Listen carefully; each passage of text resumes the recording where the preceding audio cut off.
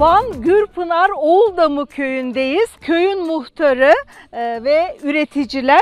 Bu keçilerin bir özelliği var.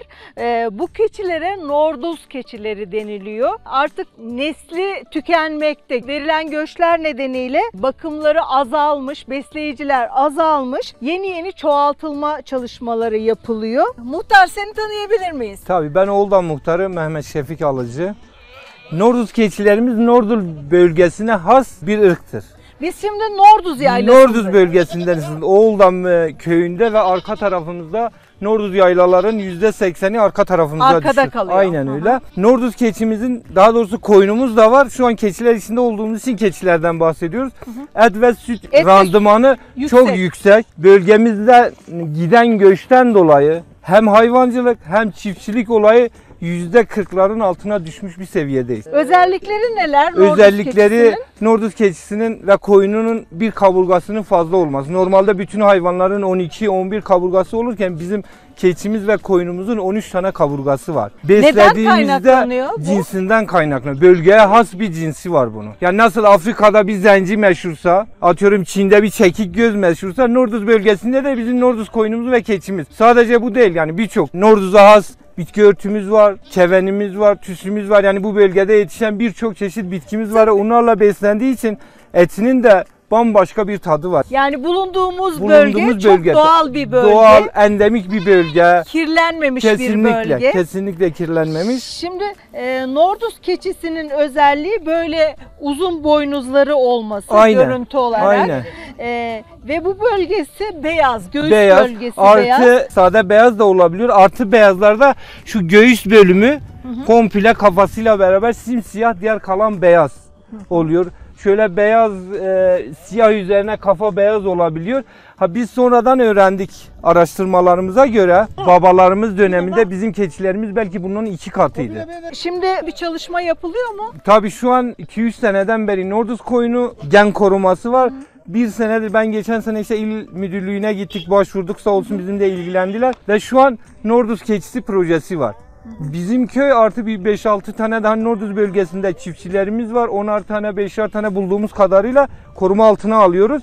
Ve bunu biz nasip olursa tescillenmiş teke alıp kendi e, keçilerimize çiftleştireceğiz. Hem aldığımız yavrular daha iri oluyor hem verimi daha çok oluyor. Yani neslin sağlıklı devamı için şimdi yeni çalışmalar İl Yapılıyor, Tarım Müdürlüğü yapılıyor. Öncülüğünde doğrudur, başladı. yapılıyor. Çok güzel değil mi bu böyle? Çok güzel bir keçi. Ne güzelsin sen böyle. Ve yavru bakımı ona da değinmedik. Mesela bu keçilerimiz koyunlarla beraber yavrulama dönemi Ocak Şubat'ta yani siz keçinin altından bir yavruyu almanız hemen hemen imkansız bir şey. Çok yavrularına çok sadık. Aynı zamanda bol süt veriyor. Tabii sütü bol, eti bol, besi aldığımızda atıyorum normal bir keçi 15 kilo atarken bizim Norduz keçimiz yaş olarak ondan küçük olsa bile en az 5 kilo fark atıyor.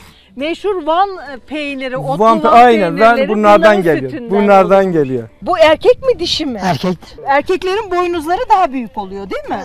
zaten erkeklerin boyun daha büyük olur. Norduz keçisinin kıllarını e, kesiyorsunuz değil mi? Bazen kesiyorlar, bazen kesmiyorlar. Niye bazen kesiyorsunuz? Kolay öyle gönülden. Her baharda hani kesilir ya. Onu her baharda kesiyor, keçiler bazen kesiyorlar, bazen de kesmiyorlar. Badak oluyor. bazen. Peki bir şey yapılıyor mu? Eldiven olabilir. Eldiven. Ha, ha, eldiven oluyor. Muhtar bu kıllar ne yapılıyor? Yıllar önce analarımız, babalarımız döneminde koyunumuzun yünü çok güzel para ediyordu. Ama bu elyaf pamuk sıktıktan sonra bizim şu an koyunumuzun yünü para etmiyor. Biz zaten özellikle onu da Tarım İl Müdürlüğü'ne, ilçe müdürlüklerine belirttik.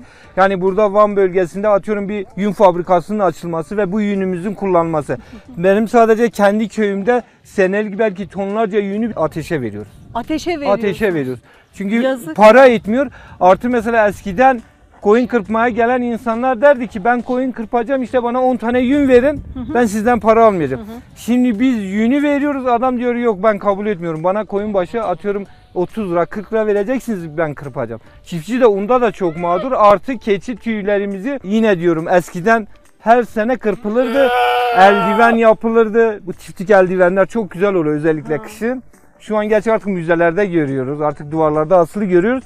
Şimdi para etmediği için birçoğumuz kırpmıyoruz e, keçileri. Ha, atıyorum lazım oldu mu bana 3-5 tanesini kırpıyoruz. Kendimize eldiven vesaire yapıyoruz. Diğerlerini bırakıyoruz. Ama o e, hayvanın rahat olması Döküyor, için döküyor. döküyor mu? Döküyor tabii. Bir sene kaldıktan sonra dikkat ederseniz bak şurada mesela yün üstünde yün var. Ha, döküyor. He, bu senesi geçti mi, zamanı geçti mi kendiliğinden Eski dökülüyor. tüyleri atıyor. Atıyor. Ama bu bütün Türkiye genelinde böyle. İnşallah fabrikalar İnşallah. kurulur. Keçi kıllarını e, Değerlendiririz. değerlendiririz. Aynen. Artı bir ek gelir olur sizler için. Çok çok güzel olur. Çok güzel bir ek gelir olur. Çünkü biz inanın ki eskiden çobanlarımızın ücretini, ot biçen işçilerimizin ücretini hepsini biz koyun yünüyle, keçi çiftçiyle karşılıyorduk. Şimdi bırakın karşılamayı ateş verip yakıyoruz. Hazır mamulü yurt dışından alıyoruz ama Aynen. kendi keçilerimizin ve koyunlarımızın Aynen. yününü Ve kullanmıyoruz. artı buradaki doğallık, sağlık, yündeki sağlık hiçbir şeyde yok. Yok. İnsan vücudundaki enerjinin yenilenmesi, bu son yıllarda bel fıtığı, bel ağrısı gelişiyor ya. İşte birinci kalite sünger yatak diyoruz kesinlikle öyle bir şey yok. En kalitelisi yün döşek. Şimdi ben şöyle bir şey öğrendim. Yeni nesil hazır yataklarda artık at kılı, keçi kılı, deve tüyü Evet. gibi şeyleri kullanmaya başlamışlar. Başladı. İnşallah sıra yüne de İnşallah, gelir. inşallah temennimiz Ee, yok. Ve sizler için bir ek gelir kaynağı olur. İnşallah. Şimdi Van kışı uzun bir şehir. Nasıl yapıyorsunuz? Yetiştirebiliyor musunuz yemi? Yani şu şekil biz zaten biçebildiğimizi biçiyoruz. Artı belli bir dönemlik saman alıyoruz. Bir kamyon saman, iki kamyon saman. Ha sonlara doğru 10 günlük, 20 günlük eksik kaldığımızda Van'dan takviye ediyoruz. Ama tek sıkıntımız işte üretici olduğumuz için ürünlerimiz para etmiyor. Ama koyun da kışın tüketici olduğu için arpasını, samanını aldığımız için üreticimiz çok büyük sıkıntı çekiyor. Ve biz İç Anadolu bölgesi, Akdeniz bölgesi gibi bir avantajda değiliz. Çünkü bizim kışımız hemen hemen 7 ay çekiyor. 6 ay zaten %100 içeride otluyor. Kalan bir ayda işte bahar döneminde yağmurlu günler oluyor, fırtınalı günler oluyor. Mecbur içeride beslediğimiz için bu dönem 6,5 ay buluyor, 7 ay bulabiliyor. Peki siz e, geliriniz ne oluyor? Et olarak mı satıyorsunuz? Süt olarak mı satıyorsunuz? Peynir yapıp peynir mi satıyorsunuz? Bizim gelirimiz keçilerde olsun, koyunlarda olsun. Biz erkek yavruları damızlık için her ev kendimize 3-5 tane ayırıyor. Erkekleri satıyoruz. İşte çoban parası olsun, işçi parası olsun veriyoruz. Süt olarak satmıyoruz. Peynir olarak satıyoruz. Bunu da işte tutma peynir dediğimiz yerin altına gömdüğümüz peynirler var. Evet. O şekil satıyoruz. Bahar dönemi biraz merkeze uzak olduğumuz için çerçi dediğimiz olay var. İşte sebze getiren bazısını da ona peşin olarak satıyoruz. Sütünden yararlanıyorsunuz Aynen. ve etinden, Ve etinden, yararlanıyorsunuz. başka bir şey yok. Gelir kaynağınız bu, Bu oluyor. doğrudur. Bu bölgede hayvancılığın dışında başka bir şey yapıyor biliyor musunuz? Tek tük kendim de dahil olmak üzere arıcılık yapıyoruz. Bu yeni yeni gelişti. Bazı yerlerimizde işte buğday, arpa üretimi var çok az da olsa. Yonca dediğimiz bitki üretimimiz var. Ondan sonra koyun üretimimiz var. Başka bir üretimimiz yok. Bu bölgede siz kendiniz mi güdüyorsunuz hayvanları? Dışarıdan çobana ihtiyaç duyuyor musunuz? Kendimiz gütme olayı zaten işte üreticiliğimiz aslında orada bir nevi sekteye uğruyor. Çünkü biz her şey gibi hazıra alıştık. Eskiden mesela çocuklarımız vardı. Babalarımızın döneminde işte kardeşlerimiz, amca çocuklarımız gidiyordu koyunacık. Şimdi artık herkes bir nevi şehirleştik, modernleştik, sanayileştik. Şimdi kesinlikle çobanı hiçbirimiz gitmiyoruz. Çobanı kendiniz dışa- gütmüyor musunuz? Kesinlikle dışarıdan çoban tutuyoruz. Ve bu sene nereden bakarsanız öyle oldu. Bazı çobanlara biz aylık 30 bin lira para verdik. Aylık 30 Aylık bin 30 lira. bin lira, 27 bin lira. Yani sezon açılışı 22 liradan başladı. Ve bu kendisi ta 30 bin liraya kadar vurdu. Ve dediğim gibi biz belki bir ayırmada işte kuzu satmada biz köylü olarak gidiyoruz. Kuzu herkes kuzusunu ayırıyor. O dönemde gidip görebiliyoruz koyunlarımızı. Bir de sağım döneminde işte annelerimizle, eşlerimizle içine gittiğimizde koyunlarımızı görüyoruz. Yani gerçekçi olmak gerekir. O yüzden de hem üretimimiz sekteye uğruyor hem maddi olarak çok sıkıntı çekiyoruz. O zaman siz çok zenginsiniz. Diyor bizden yani bütün köylü böyle. Yani zenginlikle alakası yok. Bütün köylü böyle. 30 bin lira ne Otuz- demek ya? Ama yok işte şartlar Bak bu rakamı duyduktan sonra benim çevremden buraya çobanlık yapmaya Yok gelsin gelen olacak. tutarız. Gelsin ama bizim bu çoban aslında bizim bu bölgenin çoban şartları da biraz zor.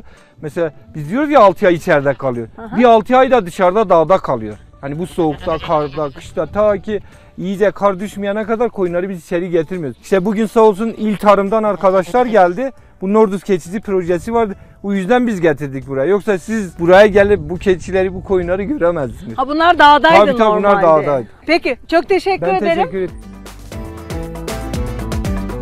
Daha fazla video izlemek için kanalımıza abone olabilir, ilk izleyen olmak isterseniz bildirimleri açabilirsiniz.